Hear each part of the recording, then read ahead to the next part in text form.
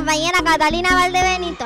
Eh, somos alumnas de la Escuela Miguel Lascar. Hoy les venimos a mostrar en este video cómo se cumple la función de nuestra escuela. Pero antes de continuar, conozcamos y veamos la misión de nuestro colegio. ¡Adelante!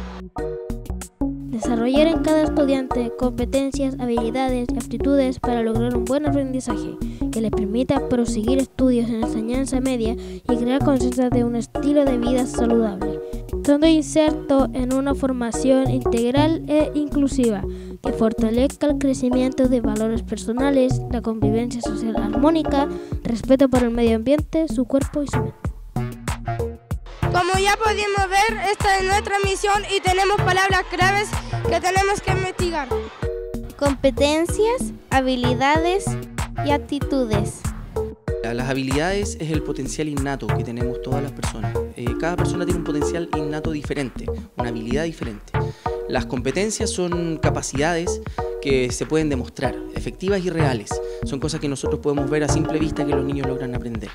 Y las, las, aptitudes son las condiciones psicológicas que tienen los niños o que tenemos como seres humanos que nos permiten desarrollar tanto las habilidades como las competencias. Por eso es necesario desarrollar las tres, porque si no están las tres desarrolladas, una de ellas va a ir cayendo. Los periodistas del colegio entrevistaremos a la comunidad escolar y buscaremos la mejor opinión. ¡Adelante! Para poder desarrollar eh, competencias, habilidades y actitudes en los estudiantes, es importante considerar eh, el proyecto educativo de la escuela. Tenemos que llevar a cabo en cada uno de nuestros estudiantes en los cursos eh, teniendo objetivos claros, eh, actividades bien diseñadas, bien planificadas, intencionadas para el desarrollo de estas competencias y habilidades. Es así que las eh, habilidades se desarrollan a nivel cognitivo, que tiene que ver con el área del conocimiento, pero también desarrollamos habilidades de tipo social, de tipo afectivo. Y cada asignatura aporta para el desarrollo de esas habilidades. Como pudimos ver la respuesta de nuestros profesores, nuestro colegio se esfuerza para que los alumnos aprendan y sean muy estudiosos. Ahora veamos qué piensan sobre el estilo de vida saludable. Eh, bueno, lo primero es educando, enseñándole a los chiquillos lo que es la vida saludable explicándole el alimento necesarios para llevar una vida saludable y también nosotros como profesores de la escuela eh, los incentivamos a practicar deporte, a salir, los, sacamos mucho seguido a la cancha, al estadio, eh, al cerro y con eso incentivamos la vida saludable acá en la escuela.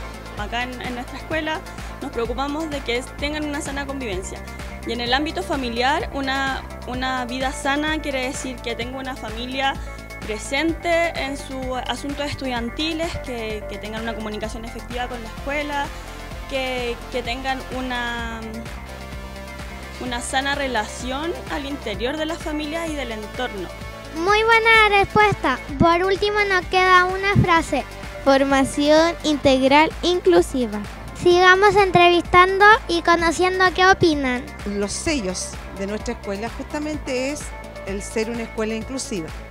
Por lo tanto, estamos eh, abordando ese tema a nivel curricular eh, con los especialistas, con los profesionales del equipo PIE, con los docentes de aula, realizando un trabajo colaborativo en el cual se, abordan las planificaciones, ¿cierto? las adecuaciones curriculares, las evaluaciones y todo acorde a, lo que estipula la ley, la ley de inclusión.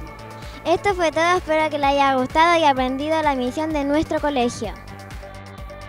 Nos vemos en otra oportunidad. Recuerden compartir y darle like a nuestro video. Adiós.